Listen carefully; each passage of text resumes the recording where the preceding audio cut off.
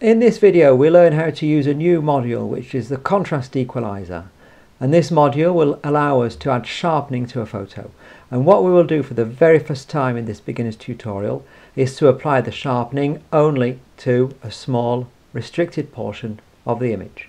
Okay, let's go.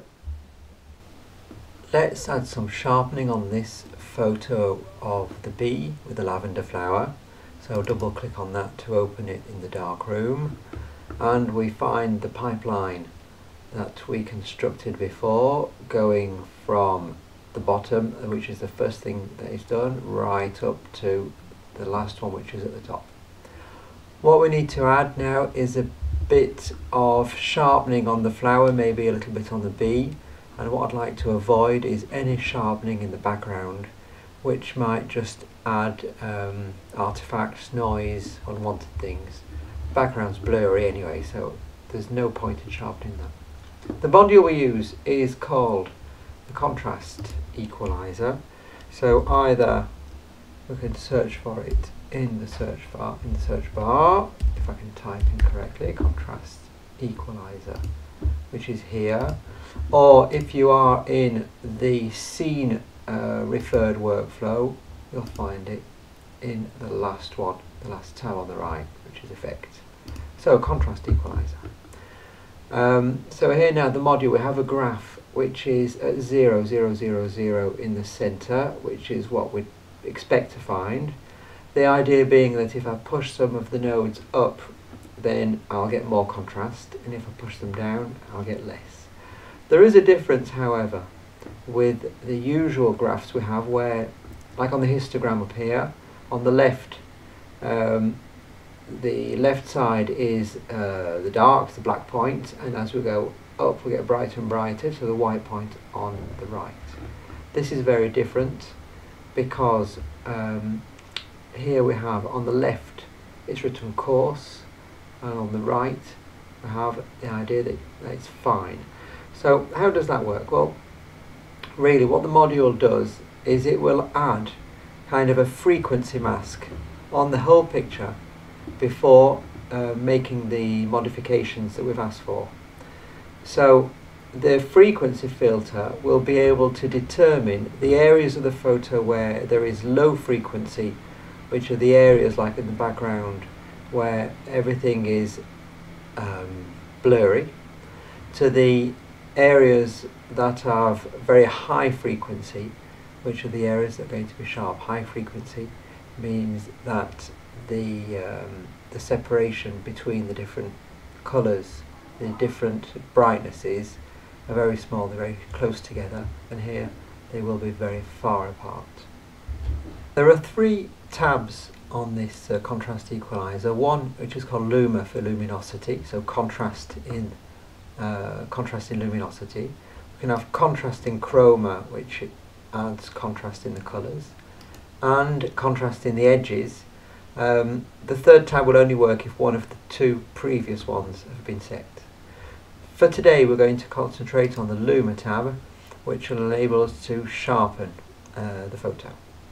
So um, we'll start moving this graph around and just to show you if I move the um, one of the nodes up on the left in the areas of low frequency what's called coarse then I'm going to move that up quite far you'll notice that in all the background of the photo we have the lights that have become lighter, the darks have become much darker, so there has been a lot of contrast added. But if you notice the top of the uh, lavender flower, there hasn't been any change at all. Um, so this uh, frequency mask is really only detecting the areas of low frequency and adding contrast to those, and that is well, the exact opposite of what we do when we sharpen. Um, it's not very pretty either. Double click on that uh, we could use this actually to lower the frequency in the background and blur it out a bit. Um, the picture has much less contrast in those cases, but we do preserve the details in the areas of fine detail. Anyway, let's go back to the sharpening. The sharpening will be on this, on the right hand side here, where I'm going to add a bit of contrast. Just move that up a little bit. Add a bit of contrast in the areas of fine detail and the um, the picture is sharpened up quite nicely. If you switch that off you might notice better. Switch it off and on. And if you can't see the difference, let's zoom in with the mouse wheel. Just, just turn the mouse wheel and we can zoom in. And here we have, if we switch it off and on, you should be able to see the difference in sharpening. So that is sharp enough for me. I don't want to over sharpen the image. Um, what you can, however, see on the side here in the greens, uh, and I hope you can see this in the uh, in the video in the on YouTube. Um, we have added a significant amount of noise in the uh, in the greens here. Let's switch it off and on. I have added noise. That is because I'm adding some contrast um, also to the background with fine detail and it is obviously finding some fine detail in the back there. Um, so what I want to do is uh, limit that, limit the sharpening just to the flower and to the bee to uh, lessen the effect on the background. If you have a look also at the background, uh, besides the noise problem, if we have a look at the flowers here at the back, with the purples, the purple has got quite dark there and if I switch that off I should see, I'll, I'll move it up a bit because you can't see very well. If I add on a lot of sharpening, there, switch it off and on, you will see that the background has become busy. The colours have changed. Um, the bokeh is less smooth. Now, I know I've added too much there. That's just to show what is actually happening. And um, well if there's just one effect on the photo you might not notice but as you pile the modules one on top of the other then these effects can actually have a significant um, make a significant difference to the photo. So there's some sharpening. I am actually going to crank up the sharpening a little bit too much just so we can see what's happening. There. And we shall try and localize the sharpening just to this area so we can uh, limit the effects in the background that we don't want. And to do this, we'll go to the underneath here. You'll notice this on every module. You have a bar here with a cross, which means that there is no um, local mask. Um, here we have a uniform mask, which just enable, enables us from 100% down to zero to reduce the effect of the module on the whole image. And that works for every module if um, some kind of adjustment you've made is too strong, just click on this circle, bring it down a little bit, and that'll affect the whole the whole picture. What I'd like to do um, on this uh, photo is use a drawn mask. And when you click on the drawn mask, there's a, whole lot of options that appear, and this can be quite daunting when you start on uh, Darktable. So I'm just going to show you the one I use the most often and how I use it. The drawn mask means I'm going to draw something on the screen and the uh, module will only take effect in the part that I'm drawing. And um, the one I use the most is this one here which is add path. So I'll just select add path and then I'm going to draw around the flower. I can draw a little bit inside, just around, just by clicking and the path will automatically appear. And I'll do this quite quickly. I'll take a part of the bee with me there in the path. I want the, uh, the legs there to be sharp. It doesn't matter if I go a little bit into the background because as we've seen the effect is quite slight. Just click along and when you're finished, I think I went a little bit too far there, it doesn't matter. When you're finished, right click and the, um, the mask appears with a solid line. Inside the solid line the effect will be 100% and then it will feather out to the dotted line and after the dotted line there will be no effect, so no sharpening here. Uh, if you want to see the mask in colour, we can go down to this little button at the bottom, which is the display mask button, and there it appears in yellow, and you can see the feathering off that's there. If the feathering isn't enough, press on shift on the keyboard and while you're inside the mask you need to be inside. If you're outside it won't work. You need to be inside the mask. Then you can change the feather with the mouse wheel. Now, if the mask is too big you can, without clicking on anything, no keys, just the mouse wheel, make it slightly smaller. And with that, we can try and adjust the mask to the shape we really want to sharpen.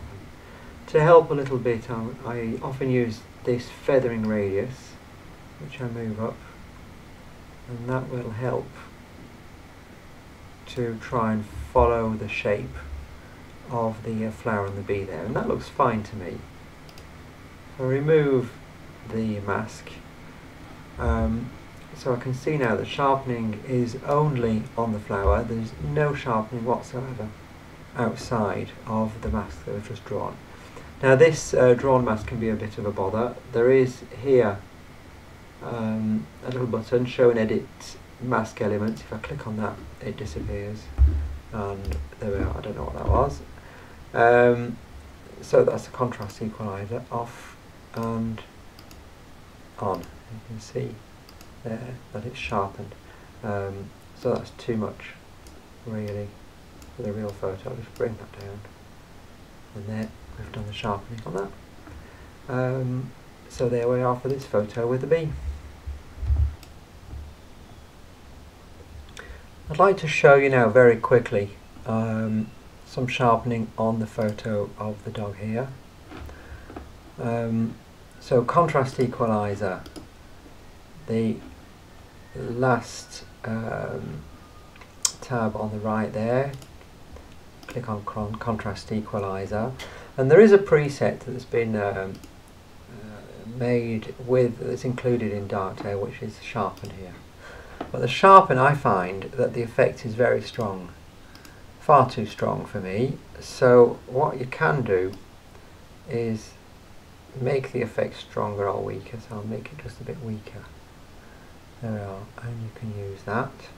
Or what you can do, and it's what I have really done, is I usually disable all sharpening on everything up to about there, maybe just a little there, and I have a slight curve here, just with the mouse wheel and shift press, just make that circle a little bit smaller. So I can just move one of the little tabs at a time without touching the others. And then I'm store a new preset here.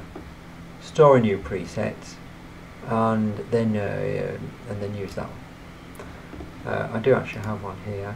I have it in French there, out of the name. There we are, preset, you see it's just a little slight curve. And then very quickly click on the pen, choose add path, click around the dog, try and get the areas detailed. There's a bit of the ground I'd like to have sharpened. Um, just move around. Right click to finish. And then I always look at the mask and feather it out go inside the mask maybe, make, make the feather just slightly bigger, just to make sure I have everything. And there we are done. That's sharpened. And if you're not convinced, let's zoom in 100% and have a look at this picture which is a little bit noisy, but remove sharpening and add sharpening and there there is just enough sharpening um, I can show you quickly because of the noise you can see here on the uh, on this image which is I think yes it's written there 2500 ISO and I'm on an APS-C uh, sensor. This uh, contrast equalizer can also be used to remove noise. Now there is a module that will remove noise with an automatic detection of the uh, camera and the ISO. Um, but this works actually quite well. Remove noise in the Luma and remove noise in Chroma. Um, I don't use the Chroma tab very much because I find that the effects are very startling when you move things up and the colours will get very bright very quickly. Very strange. I don't use that very much. What I do use though is I have, there is another curve underneath here that's hidden. Now I did have problems getting that curve off the ground because it is at zero because I used to try and click on these triangles and you don't do that. You click just above the line click with the mouse and move up and there you see there's a new curve that appears and this and grab hold of that. I'm going to make this circle a bit bigger by pressing on shift. Now move that up and there I am actually removing some chroma noise which are the colourful dots They're a bit annoying in a photo. I don't mind so much um, photos with, with a bit of grain, but in digital, the chroma noise is a bit ugly. So if I click that off and on, so that's off and that's on. I don't know if you can see the difference. It's sharper and there are less of those strange colours. I can um, do the same with Luma. I'll make this circle nice and big with the shift button. Try and grab somewhere just above the, tri the triangles there and the new curve appears. And there I can remove some noise once the curves appeared. So noise will be typically in the areas of fine detail, so the high frequency areas. So there's, um, you don't want to blur the photo completely. And there we are, I have removed the noise. So if I click on contrast equalizer, you can see in the areas here I have some dots of strange colours, blues and, and greens. Um, and here they have disappeared and some sharpening has uh, appeared too. And if I don't think it's sharp enough now I can add a little bit of extra sharpening. Yeah I'll make it. There so I think that's done for that photo there. See off so a bit of noise not very much sharpening and there it's added on and let's move backwards uh, and there is zero effect on the outside of the shape I made. So if I really wanted to remove noise, I should actually do that globally on the photo. But there I've shown you how to remove a little bit of noise with uh, the contrast equalizer. Well that does it for this video and um, I'll uh, see you soon.